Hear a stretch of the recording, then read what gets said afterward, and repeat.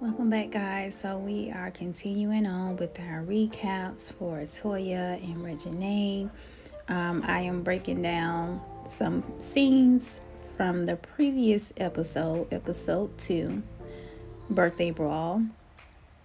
And today we are going to focus on Toya's um, comment when she said that Mama Nita upholds Casey you know she convinces him she she feels like you know her mom enables um, casey to do the things that he does you know because they had this situ- they had the conversation about him not you know feeling supported and you know him feeling entitled. And then they went and asked mama nita what she wanted to do for her birthday and she responds, you know, she wants to hear Casey's song. She wants him to perform.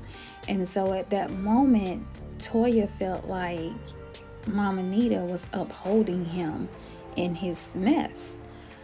Um, now, I don't feel like she was, I don't think Mama Nita was upholding him in his mess based on what we have seen you know they live this life and they know most of what is going on behind closed doors.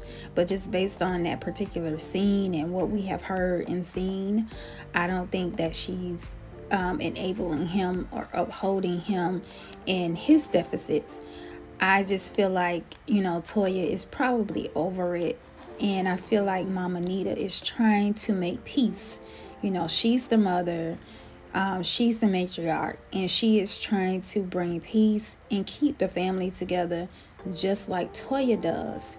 Because um, we hear Mama Nita saying, Does it always have to be like this? You know, she's wanting them to get along, whereas they're not looking at it, you know, as her role.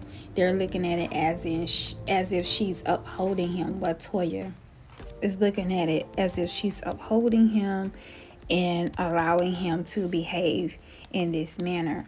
I think she's just being a mother. She's trying to keep the siblings together.